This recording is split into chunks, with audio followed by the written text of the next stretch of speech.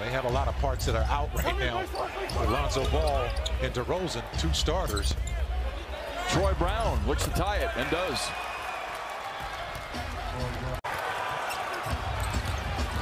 Wiggins in attack mode, fouled.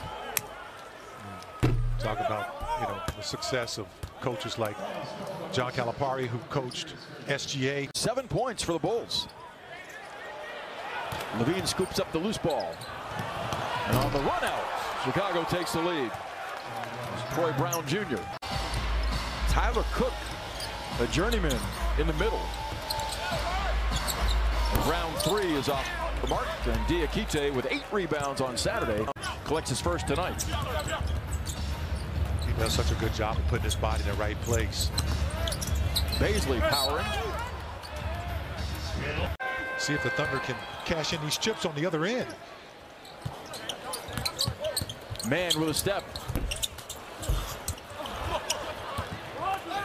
Defensively. Vucevic wants it, and JRE says, I'll take it. Thunder with numbers.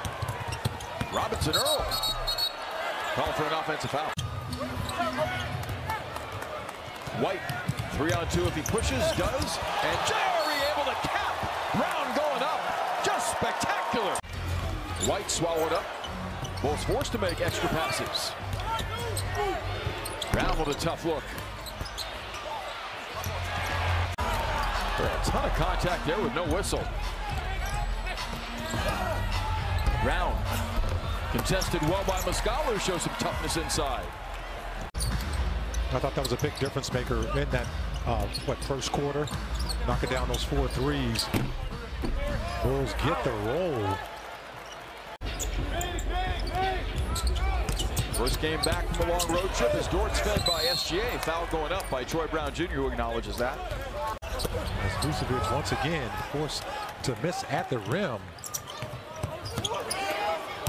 Giddey wanted a kick ball. And Javonte Green with a spike. Giddey wanted a kick ball. And Javonte Green with a spike. That gets the bench.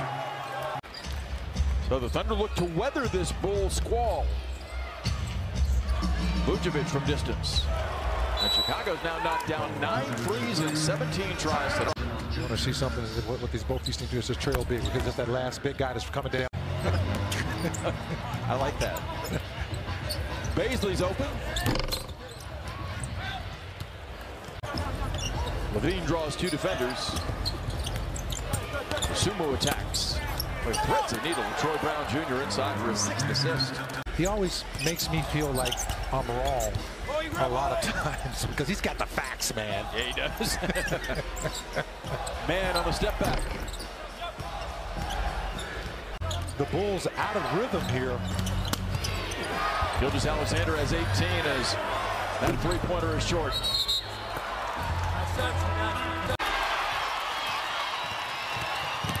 Shai gallops and is fouled.